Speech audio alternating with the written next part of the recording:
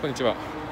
あのね今ちょっと急いでてえっ、とちょっと今からちょっと岐阜の方に行くんですけど電車がですね最終なんですよ。でこの新幹線の最終ってマジ焦るよ。いやもっと早いので行けよって話なんだけどあのちょっと動画編集してたら最初になっちゃって今池袋で今から東京駅に向かいます。無事乗れました。日曜の最終便なんで人がほとんどいないです。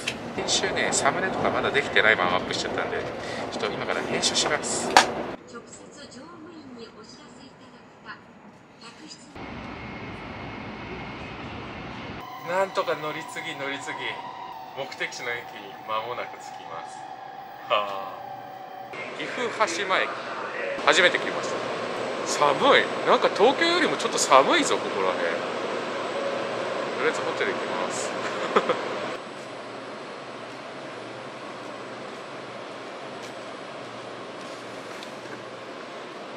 大学生のスノーボー旅行ぐらいさ荷物がたくさんあるんですけど。くるぶしソックス間違えたな。スノーボードに行くのでこの岐阜羽島というところに来ましたけど。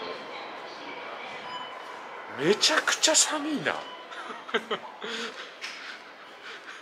わーなんか思い出すあの福島の大会出た時に電車止まってタクシーで2時間ぐらいかけて福島の会場の近くのホテル来たんですけどその感じを思い出すこれ。この感じね。うわ懐かしい。あー疲れたーあ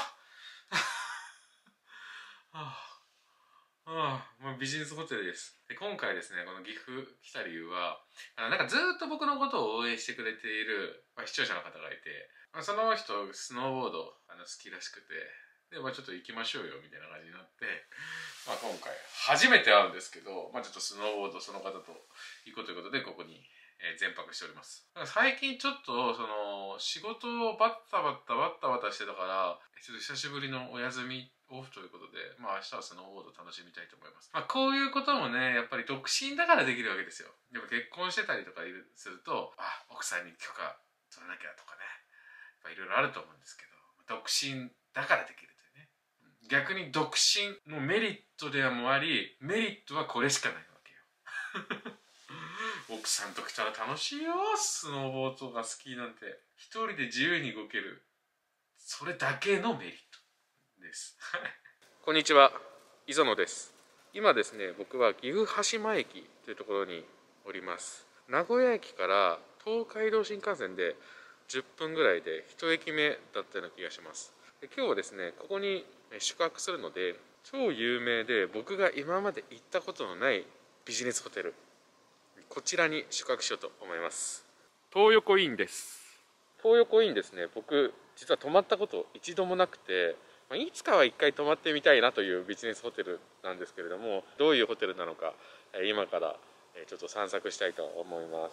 でここの東横インは新幹線南口209ということで209番目にできた東横インかもしれません。うわー風が強くて寒い。お帰りなさいませ。いや僕は初めまして。清潔安心寝頃感を大切にしまた帰ってきたけど夜なほど寒い寒い寒い寒い寒い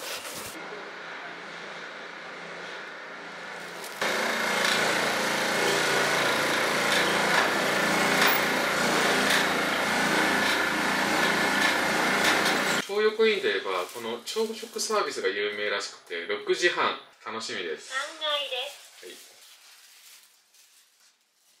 い。貸し出し用のズボンプレッサーがあります。出張の方とかが多いのでしょうか？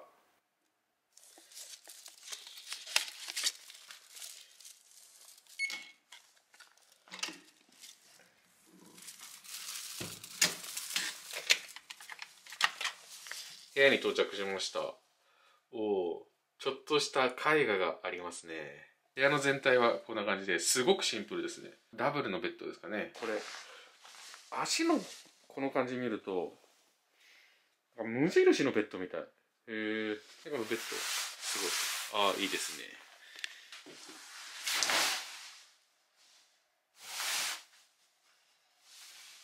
ちょうどいい硬さです。ベッドの横に、照明があって、で、これいいですね。この照明すごくいいかもしれない。使いやすそう。ここに物が置けるというね。普通のビジネスホテルってなんかここの、ここの頭あたりがガチャガチャしてるんですけど、この普通のなんか一人暮らしの家にあるようなライトです。で、後のものは全部壁にくっついて集約されてます。冷蔵庫だったりテレビ。こういう本はあるんですね。家族、友達、仕事のために自分を知ろう。日本一女性が働きたい職場を目指してる。へえ。アッパーホテルもこういう本とかありますもんね。社長の本かな。心の宝と出会う本。未だにで出会ってないですね。僕の秘宝伝はどこにあるんでしょうか。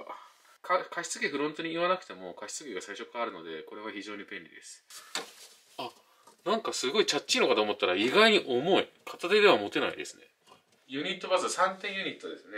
このトイレの色合い見ると、なんか黄ばんでんなと思ったんですけど、そんなことないですね。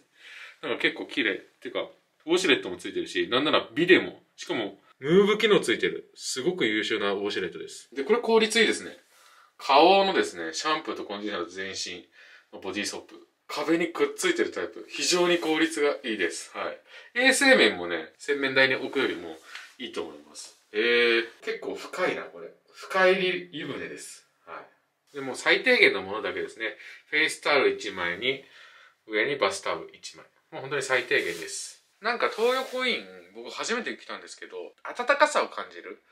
この木目の感じが、暖かさを感じる仕様で、こういう幅木の部分とかもウッドな感じで、なんか全体的に暖かいなと思います。鏡の枠もウッドな感じで、暖かさを感じますね。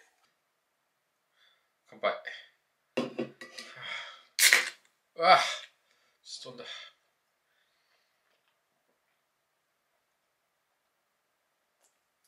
ああ、このキムチ鍋みたいなのセブンイレブンで買ってきました。うん。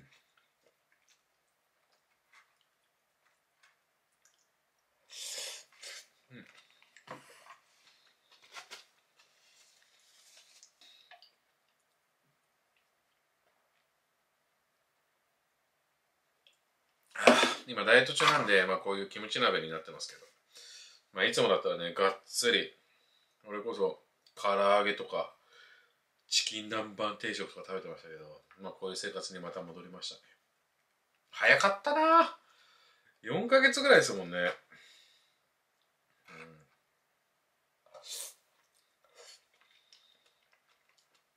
そういえばスノボをまだですねあの取り付けてませんでしたこのビンディング。バインディング派？ビンディング派？俺ねスキーから入ってるからウィンタースポーツは。だからビンディング派なんですよね。はい。取り付けてなかった。取り付けないと。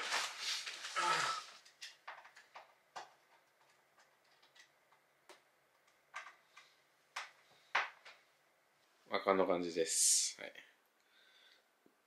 おはようございます。今ですね朝の6時です。あの今日朝の6時集合ということで、えーだいぶ早い集合時間です。でね出ちゃいました。遠足の前の日モード。出ちゃいましてあの1時間しか寝てないです。あーやっぱワクワクしてたんだな。なんかこの年にもなると人と距離を詰めるのをねこうこうなんつうの探り合いしてとか、まあ、女性とならねこう恋の駆け引きみたいなのありますけどやっぱりねちょっと野郎だったらね、まあ、そういうのはない。からもうこの距離を詰める時間はもうもったいないということでもうパパパと 距離詰めてえーいきたいと思います、はい、日本の真ん中出会いは岐阜羽島。言われてみると確かにちょうど日本の真ん中っぽいっすね。部屋がやっぱり乾燥してて水買いました。ねこれ。小さい水なんか大きい水もあったんですけどもしかしたら合流したらコンビニ行くかもしれないから一緒に。そしたらなんか俺大きい水持っててなんかその準備も万端だと思われたらねちょっとあれじゃないですか。あっちコンビニ行ってないみたいな感じで。だからちょっと小さい水にしました。今のうちに飲み干そう。どんな気遣いの人や。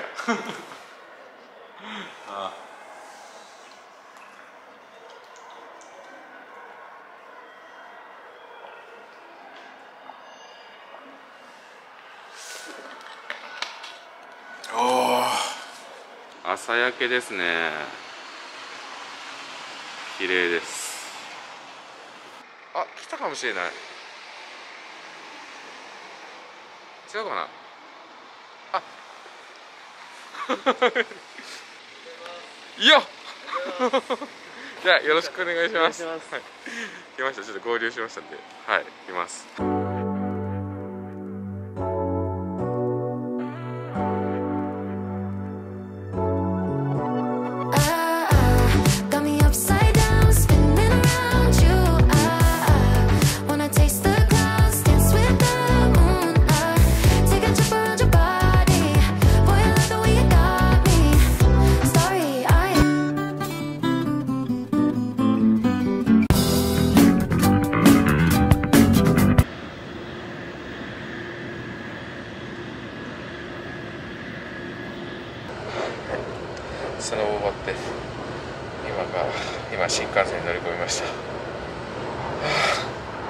ちゃ疲れたけど楽しかったです。さて今から帰ります。めちゃくちゃ足つってる。痛い。